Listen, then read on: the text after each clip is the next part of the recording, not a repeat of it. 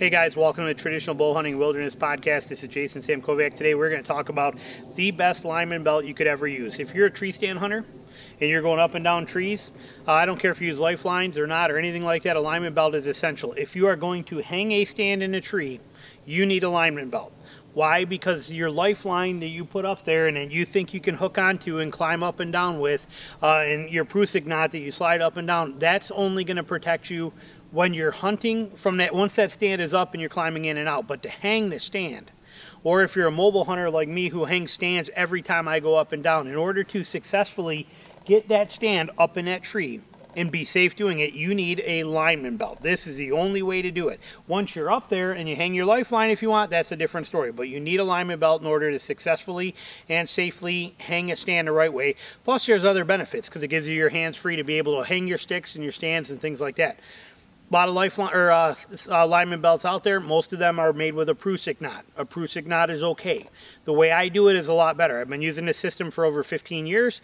Uh, it works incredible. There is literally there there's there's tens of thousands of you guys that are using the same system that I do now, and I've done quite a few videos on it every video I do, I get a lot of questions about how the, where to get the components, how to build this, what to do with it. This video, I'm going to explain it all to you, put it all into one video so it's all right there and easy for you. And I will give you links below, down in the bottom in the description where you can buy all these parts for it real sweet and easy. I am an affiliate with Amazon, so um, I, I do get a little bit of a commission from these purchases, but it will be a link right there to show you everything uh, and all the stuff you need all in one spot, shopping, sweet, simple, and easy, and sent right to you. So, um, but this lineman belt, what we have here, it is ultra light. This one here is actually, I got mine on, which I will show you. This is one that I just built for Steve Trey, Northern Miss Longbows. I just made one for him, so I'm going to use that to show because it's all fresh and new and not used yet. Uh, but you can see how little compact and lightweight that is. But the functionality of this thing is incredible. Uh, what we have is you have, the main component of this is this ascender unit, which I'll bring in and show you. But what's nice about this is to see how it rolls right across that rope real easy. You can do that one-handed from the tree. What about going backwards and getting more slack? You can take your finger and just press that up and you can roll that way. So you have total flexibility to go up or down, giving yourself more or less slack whenever you want to. That is the beauty of the system, but it locks. It's not going anywhere. It will not, it's mountain grade climbing quality kind of stuff, so it's not going any place. Um, you know, so it works like a champ. It's a great system. I've been using it forever. It works incredible. Um, and then I do just a simple overhand knot. You can, some people argue, say there's better knots. Uh, you know what? I mean, I, I do what I'm doing with it. You do what you want with it. I'm not taking any responsibility for what knots you use or what you set up or how you do it. I'm just telling you what works good for me. If you want to put a different knot in here than an overhand knot, go ahead. For me, it works fine. All I needed to do is stop this when I'm letting it out so that I don't take too much slack out, eh, so I don't just slide off there not thinking. That knot does that for me.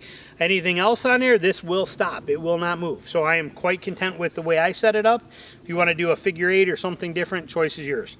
Component-wise, what we have here, you will see we have just a simple carabiner on this tag end that's here you can put whatever you want to put on here. It does not make any difference. You can use any carabiner wire one whatever. I like these ones that do not have the notch hook in them that way this thing will very simply uh, go onto my d-rings on my harness and stuff for your fabric ones. They will not snag. There's no snag to them so this one here I'll, I'll put links to this stuff in, in good carabiners and things.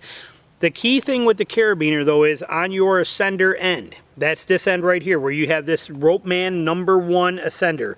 Wild Country Ropeman number one ascender is what you have on there. And it is important that you get the number one because it has these teeth on there like this. The number two have got very pointed uh, teeth on there and they'll still over time wear on your rope. So I like the Ropeman number one is my favorite one.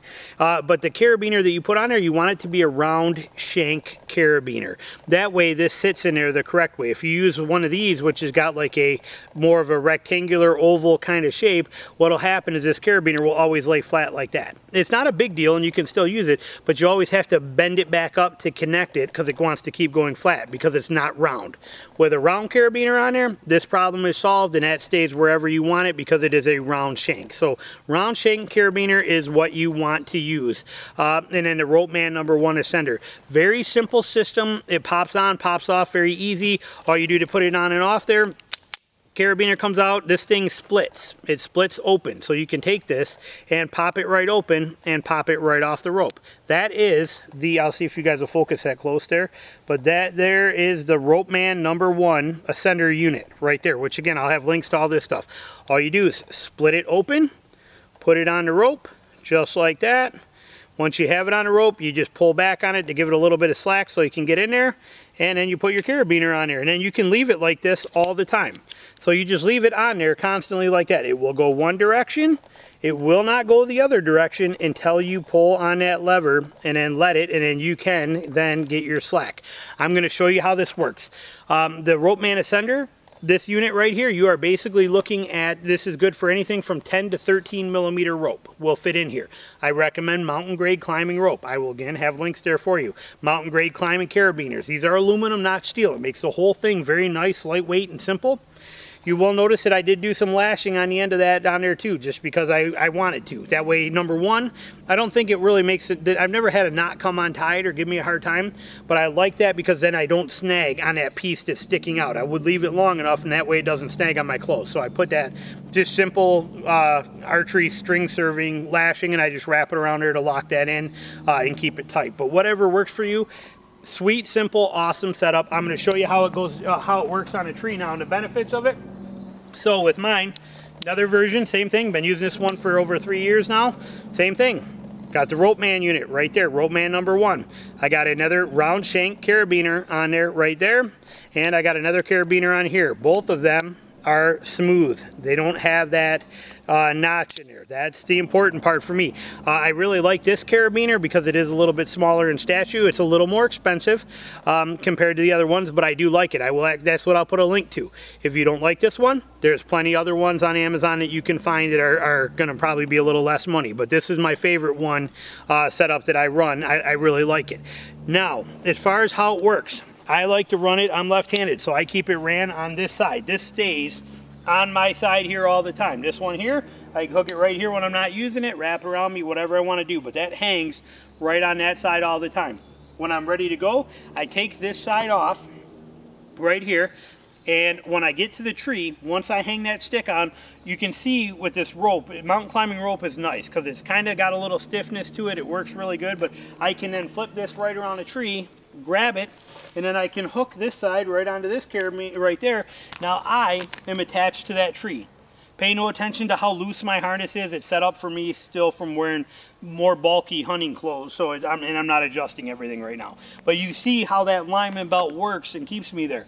So now as I'm, I climb up and I'm on my first stick, as I go up the tree, I want to be able to have more slack. If I'm right here, like this and I'm working on it, this keeps me good and safe and I'm comfortable. But while I get this set, I got it, both my hands are free.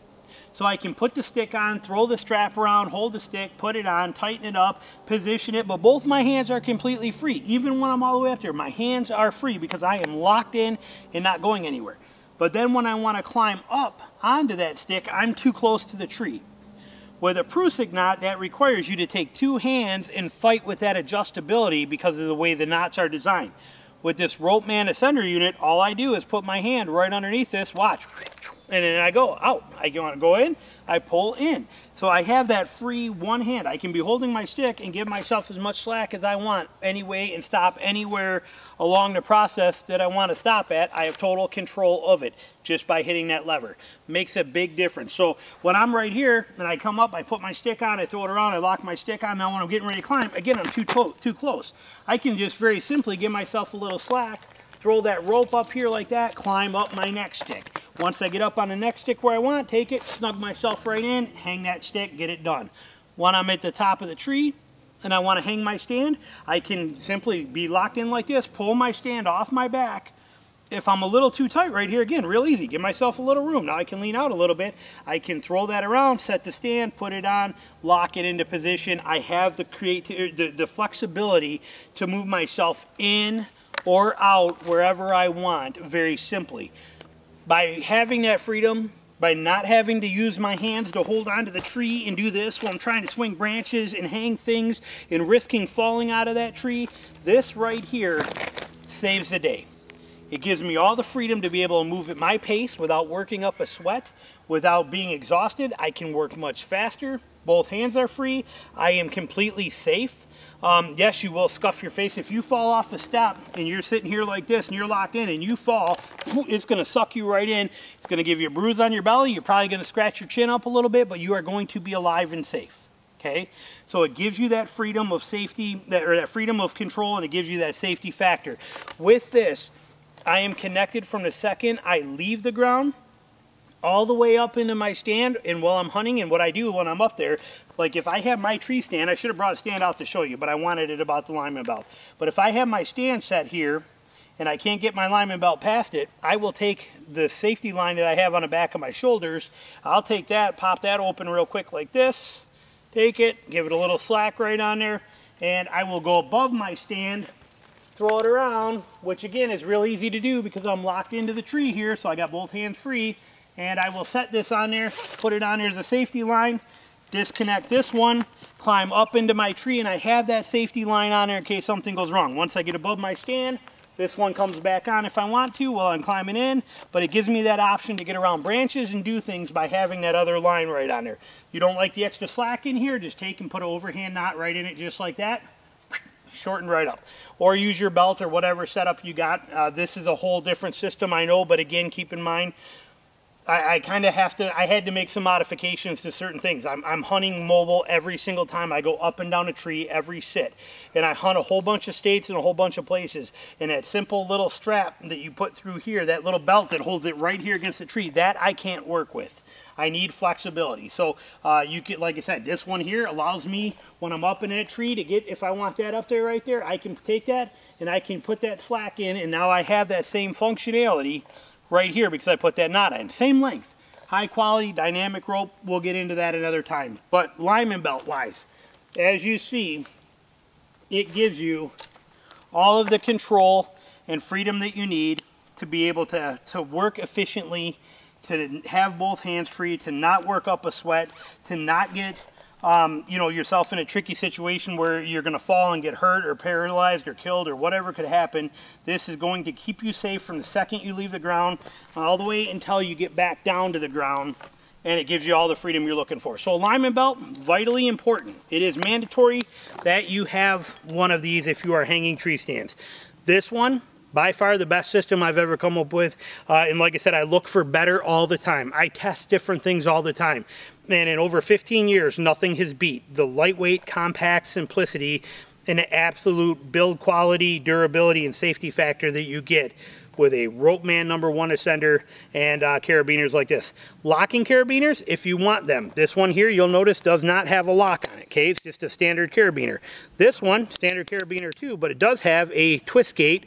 Give that, with that, you just give it a quick turn, and it is now locked. It will not open on you. Give a quick turn with your thumb, just spin it, whoop. There we go, and just give it a quick turn, and now it does open. So a quick turn up, quick turn down, and you can have it where it locks. Is that important? it may or may not be since I usually leave this side of mine on all the time. I don't take this off till I get in a stand. I like having that locking one on there because once I put it on, I take it, put it on right here, hook it on.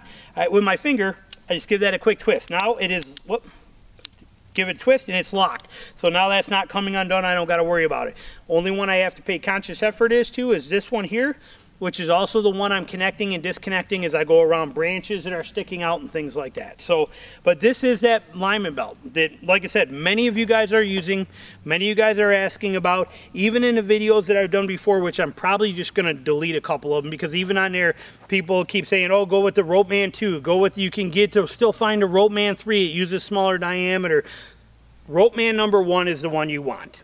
That is the one that has got the right tooth design. That one has got the right setup you're looking for. This is the exact setup you want if you want it to be the best lineman belt you could ever use. Hands down, period. No other two ways about it. Um, that's, that's my opinion from somebody who spends a tremendous amount of time hanging stands up and down. So, uh, and I'm using this rope you're seeing on here is 11 millimeter climbing rope. Okay, doesn't matter which ones. Uh, I will put a link to climbing rope in there as well too. Uh, you can buy it by the foot. You can also buy it in 30 foot sections. You can buy it in a bunch of things. Sometimes it may be a couple bucks cheaper to buy it by the foot. Uh, but other times, uh, some of the places you might find a better deal if you're just buying like a 30 foot quantity. It might only be literally a couple dollars more than buying 10 feet of it which I will recommend you're going to want about nine, nine to 10 feet is what you're going to need to be able to make your knots, stuff like that, and handle most trees. I think mine end up being about nine foot of rope that I start with when I make them, and, uh, and then I just cut and do the ends and stuff. But about nine feet is what you're looking for that you're going to need. So if you're buying 10 feet of it, like I said, sometimes you might find a better deal if you just go ahead and, and buy a, a 30 foot piece of it. A lot of times too, when you buy them like that, they will already come with a uh, loop in it. On one end or both ends, they'll come with a loop in it. So then when you cut your other end, you just put that knot in there, but they'll already have a actually pre-sewn and tethered and locked loop right in one end of it, which makes it nice too. So uh, again, that stuff will be down below for you as far as links for that, but you can go, you can order all the components for it, build it yourself, make it. It is by far the best lineman belt setup that I've, I've ever, ever used, ever came up with. It's, it's, a Prusik knot can't hold a candle to this. This is the speed and ease of this is just priceless. And then on top of that, the fact that you get to, you know, have both arms free and you don't work up a sweat. You're not struggling. You're not hanging off the tree like an acrobat and you're safe from the second you get on the, from the second you leave the ground with this and with your belt on the back from the second you leave the ground till the second you come back to the ground, you are 100% safe. And that's important. It lets you get back to your family and it lets you go on with your life and hunt another day. So thanks for watching and I will be back with more stuff soon. We'll talk to you later. All right, bye.